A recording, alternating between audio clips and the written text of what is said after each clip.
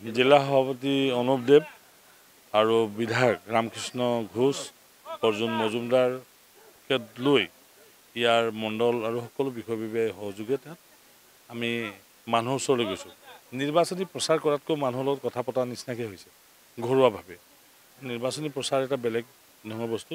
আৰু ইয়াত যিহেতুকে বিৰোধী শূন্য অৱস্থাত আছে গতিকে ইমান চিন্তা কৰিবলগীয়া নাই বুলি মই ভাবিছোঁ।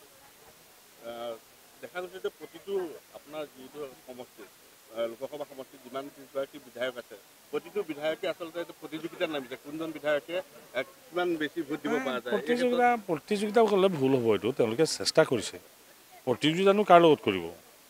নিজৰ সমষ্টিটো সুৰক্ষিত কৰিবৰ কাৰণে বেছিকৈ ভোট দিবৰ কাৰণে তেওঁলোকে চেষ্টা কৰিছে যাতে সাংসদে বেছি ভোট পায়।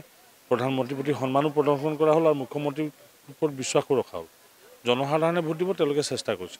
বিধায়কসকলৰ এই সহজ প্ৰচেষ্টা আৰু গণতন্ত্ৰক শক্তিশালী কৰাৰ প্ৰচেষ্টাও চলিছে। যাতে বেছিকৈ ভোট দিব পাৰি ইয়াৰ এটা ইয়াৰ অৰ্থটো হ'ল যে ডেম'ক্ৰেচিটোক মানুহৰ ওচৰলৈ লৈ যোৱা। বহুত মানুহৰ এটা ট্ৰেণ্ড আছে যে ভোট দিবলৈ নোযোৱাটো। ভোট দিবলৈ নগৈ পেলাই বহু কথা কৈ থাকে। এই ট্ৰেণ্ডটো সলনি কৰিব খুজিছে। মুখ্যমন্ত্ৰীয়ে কৈছে যে আহ, কাজিৰঙা সমষ্টিত পাঁচ লাখতকৈ অধিক ভোটত কামাখ্যা প্ৰসাদ জয়ী- যোৱা- প্ৰসাদ প্ৰসাদ জয়ী হোৱাটো নিশ্চিত। আপোনাৰ মতে কি? মুখ্যমন্ত্ৰী ডাঙৰীয়া অংকত ভাল। মই কিন্তু অংকত বেয়া। মোৰ কেলকুলেশ্যনৰ এজামশ্যন ভুল বেয়া সেইকাৰণে মই ভয়তে নকওঁ। মই ইয়াৰ আগতে তিনিবাৰ হাৰিছোঁ। লোকসভাটো জিকিছোঁ তাৰ আগতে হাৰিছোঁ নহয়। এই কেলকুলেশ্যন ভুল থকাৰ কাৰণে হাৰিছোঁ সেইকাৰণে মই সংখ্যাটো নকওঁ। কিন্তু জিকাটোতো নিশ্চিত মুখ্যমন্ত্ৰী ডাঙৰীয়াই নিজে আশীৰ্বাদ দিছে। গৃহমন্ত্ৰী ডাঙৰীয়া আহিব বিধায়কসকল লাগিছে দলৰ বুথৰ পৰা আমাৰ যিটো শক্তি কেন্দ্ৰ মণ্ডল সকলো মানুহে কাম কৰিছে। এতিয়া আচলতে লোকসভা নিৰ্বাচনটোত অকণমান উৎসাহটো অকণমান কম থাকে কাৰণ এৰিয়াটো ডাঙৰ হৈ যায়। তথাপিও চেষ্টা কৰা হৈছে যে যিমান বেছি পাৰি সিমান মানুহৰ ওচৰলৈ যাবলৈ। প্ৰস্তুতি- চলাইছে বিধায়কসকলে চলাইছে দুই হোলা- হোজাই জিলাৰ দুজন বিধায়কে চলাই আছে হোজাই জিলাৰ বিধায়ক ৰামকৃষ্ণ ঘোষ আৰু শিবু মিশ্ৰ ডাঙৰীয়া লামডিঙৰ বিধায়কে চলাইছে। দলৰ কাৰ্যকৰ্তাসকলৰ লগত আছে। এইখন যিহেতু চৰকাৰী সভা নহয় এইখন পূৰা দলীয় সভা।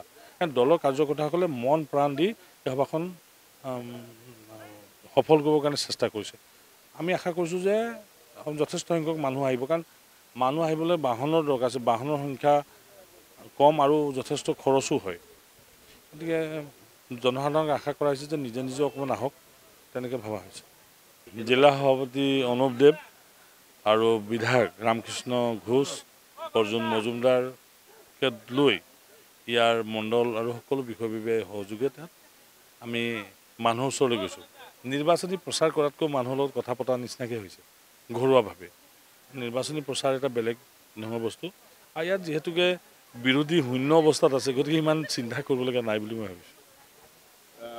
দেখা গৈছে যে প্ৰতিটো আপোনাৰ যিটো সমষ্টিত আহ, লোকসভা সমষ্টিত যিমান কেইগৰাকী বিধায়ক আছে প্ৰতিটো বিধায়কে আচলতে এইটো প্ৰতিযোগিতাত নামিছে কোনজন বিধায়কে কিমান বেছি ভোট দিব পৰা যায়? প্ৰতিযোগিতা প্ৰতিযোগিতা ক'লে ভুল হ'ব এইটো তেওঁলোকে চেষ্টা কৰিছে। প্ৰতিযোগিতানো কাৰ লগত কৰিব? নিজৰ সমষ্টিটো সুৰক্ষিত কৰিবৰ কাৰণে বেছিকৈ ভোট দিবৰ কাৰণে তেওঁলোকে চেষ্টা কৰিছে যাতে সাংসদে বেছি ভোট পায়। প্ৰধানমন্ত্ৰীৰ প্ৰতি সন্মানো প্ৰদৰ্শন কৰা হ'ল আৰু মুখ্যমন্ত্ৰীৰ ওপৰত বিশ্বাসো ৰখা হ'ল। জনসাধাৰণে ভোট দিব তেওঁলোকে চেষ্টা কৰিছে। বিধায়কসকলৰ এই সহজ প্ৰচেষ্টা আৰু গণতন্ত্ৰক শক্তিশালী কৰাৰ প্ৰচেষ্টাও চলিছে। যাতে বেছিকৈ ভোট দিব পাৰি ইয়াৰ এটা ইয়াৰ অৰ্থটো হ'ল যে ডেম'ক্ৰেচিটোক মানুহৰ ওচৰলৈ লৈ যোৱা। বহুত মানুহৰ এটা ট্ৰেণ্ড আছে যে ভোট দিবলৈ নোযোৱাটো। ভোট দিবলৈ নগৈ পেলাই বহু কথা কৈ থাকে। এই ট্ৰেণ্ডটো সলনি কৰিব খুজিছে।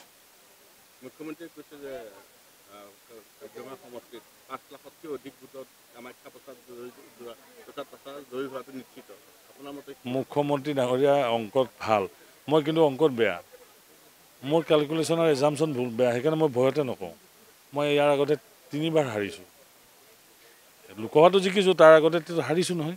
এই কেলকুলেশ্যন ভুল থকাৰ কাৰণে হাৰিছোঁ সেইকাৰণে মই সংখ্যাটো নকওঁ। কিন্তু জিকাটোতো নিশ্চিত। মুখ্যমন্ত্ৰী ডাঙৰীয়াই নিজে আশীৰ্বাদ দিছে। গৃহমন্ত্ৰী ডাঙৰীয়া আহিব বিধায়কসকল লাগিছে দলৰ বুথৰ পৰা আমাৰ যিটো শক্তি কেন্দ্ৰ মণ্ডল সকলো মানুহে কাম কৰিছে। এতিয়া আচলতে লোকসভা নিৰ্বাচনটোত অকণমান উৎসাহটো অকণমান কম থাকে কাৰণ এৰিয়াটো ডাঙৰ হৈ যায়। তথাপিও চেষ্টা কৰা হৈছে যে যিমান বেছি পাৰি সিমান মানুহৰ ওচৰলৈ যাবলৈ। প্ৰস্তুতি- চলাইছে বিধায়কসকলে চলাইছে। দুই দুইটা হোজাই জিলাৰ দুজন বিধায়কে চলাই আছে। হোজাই জিলাৰ বিধায়ক ৰামকৃষ্ণ ঘোষ আৰু শিবু মিশ্ৰ ডাঙৰীয়া লামডিঙৰ বিধায়কে চলাইছে। দলৰ কাৰ্যকৰ্তাসকলৰ লগত আছে। এইখন যিহেতু চৰকাৰী সভা নহয় এইখন পূৰা দলীয় সভা। দলৰ কাৰ্যকৰ্তাসকলে মন প্ৰাণ দি এই সভাখন সফল কৰিবৰ কাৰণে চেষ্টা কৰিছে। আমি আশা কৰিছোঁ যে যথেষ্ট সংখ্যক মানুহ আহিব। কাৰণ মানুহ আহিবলৈ বাহনৰ দৰকাৰ আছে। বাহনৰ সংখ্যা কম আৰু যথেষ্ট খৰচো হয়। গতিকে জনসাধাৰণক আশা কৰা হৈছে যে নিজে নিজে অকণমান আহক তেনেকৈ ভবা হৈছে।